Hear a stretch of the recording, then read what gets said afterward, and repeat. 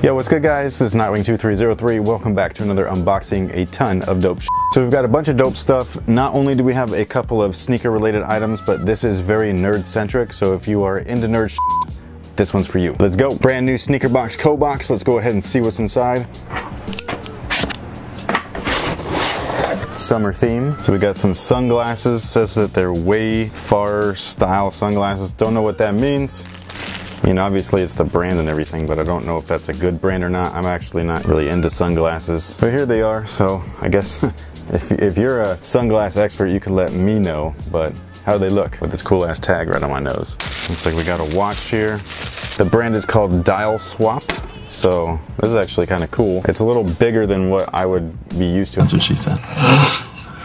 hey, nice. I personally don't wear watches just because I use my phone for my time, but if I did, I would like something a lot slimmer than this. This is very thick, but the face of it's really cool. It's got that cement print in there, so it would match fours. It's it's like my favorite look, like that splatter print, that cement gray and black splatter. So very dope. Looks like the the uh, the hands glow in the dark as well. So again, Dial Swap is the uh, the brand, so that's neat. You actually might be able to change these out. It looks like the silicone band. Oh yeah, definitely Okay, so yeah, you could definitely take this out. So I'm sure that there's different faces that you could buy. There's probably different bands that you could buy too, which is pretty neat. So if you're into that kind of stuff, go ahead and check them out. We got a mint lifesaver, which I will have right now because I just ate lunch and I had a burrito. So Spicy. Oh, we got two just in case that was a gnarly burrito. We have a lanyard here. Let's see who it's from. Rope Lace Supply. That's who I thought it was from. So any lanyard guys out there, there you go. You can have a sneaker inspired one. It's got that Yeezy lace kind of look to it. Got some more shoe deodorizer and dehumidifiers. I really could have used this on my trip to Atlanta. I had a hoop session there and I forgot to bring these with me and I had no way to dry out the shoes that I wore to play ball in. So I wish that I brought these with me. So this is a good pickup. Last but not least, we got some more sneaker art. I love this stuff, man. And I just picked these up, so pretty cool. So that's everything that was inside the latest Sneaker Box Co-Box. If you are interested in subscribing to their subscription service, all you gotta do is click the link in the description box and we're gonna keep it moving. SandalBoyz pickup. These were from Franelations. If you haven't heard of SandalBoyz, it's his company and it's actually really high quality stuff. So I love how they smell, by the way. I don't know what that is. I don't know if it's glue or vinyl or paint or whatever, but whatever it is, that smells good. And here they are. Not exactly sure if these are available already, but if they are, I will leave a link in the description box below. I'll actually leave a link anyways, just in case you want to check them out. But it's high quality slides. These ones fit a lot nicer than the original ones. They're ultra true to size, by the way. So if you are interested, make sure you get your true size or go up a size if you like a little bit of room in your slides. Now I got this fuzzy guy right here. If you remember the elephant print rug that I got, this is from the same company. It's Spilled Co. And this is a sneaker themed throw blanket. It's gonna be too big to show all the detail in the video. I mean, just check it out, dude. This sick. You got Yeezys on there for your hype beasts. You got Superstars. You got Dunks. I think those are some Reeboks right there. Some S Carters or something like that. You got New Balance. You even got some J's. Actually, those are not J's. Those are Dunks. Oh no, there are J's down there. there. There's some threes down there. Oh man, they only got the toe of the Reebok question. Damn. But this thing is sick. It's nice and soft too. So if you are interested in any of this kind of sneaker themed stuff for your house or your man cave, maybe your garage, game room, I don't know, go ahead and hit them up. Link in the description box below. Moving on to apparel. I think you guys are gonna like some of this stuff. First up, we got some shorts. This is from Jerseyzilla Bespoke. These are the guys that I had make our wear tester shorts. Very nice quality. The print is in the fabric, which is dope. So you can see that. It's printed directly in there and it's not coming off. I've washed mine a number of times and it hasn't like worn or faded or anything and that includes with drying. And I think these are like a, uh, a warrior inspired short. So not only are they for, you know, Golden State colors, but also you got that kind of tribal warrior look on the short as well, which is kind of a play on words of the warriors. And some more warriors themed colors and it says Swish Life right there. Swish Life, winners only. This is a fire tee. I believe they also come in other colors, so if you're not interested in Dubs colors, then they got other stuff as well. Go ahead and check them out. Got a Hoops of Anarchy, winners only tee, and then my personal favorite, Bang Bang. Look at that, that fool looks high as a this shirt's funny as hell, man. So we got two more sneaker inspired pickups. Not inspired, what the hell am I talking about? So we got two more sneaker pickups and then afterwards we're gonna move on to nerd So if you do not like the nerd stuff, you can leave right after that. If you are like me and you embrace your nerd side, then you wanna stick around.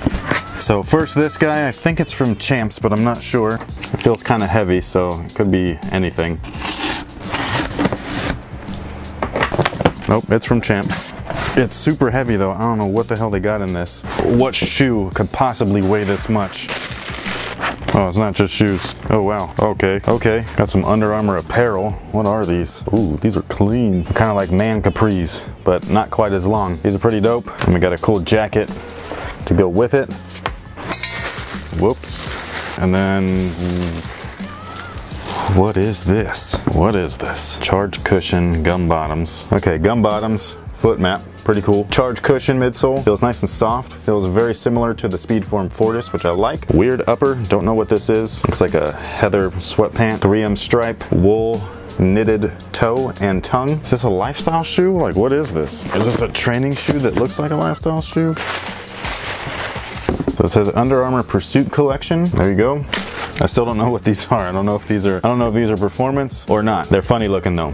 They kind of look like a skate shoe or like a chukka mixed with a trainer. But if you like them, link will be in the description box. Hype Beast alert. Like for real, Hype Beast on fleek right here. Yes sir. I caved and I got a pair of Yeezys. I was at Kicks Fair. I was there making an appearance. We also collaborated and did a Wear Testers hoop session times Kicks Fair hoop session, which went really well. It was in Atlanta. Shout out to everybody that went. It was awesome meeting everybody. You guys are super cool.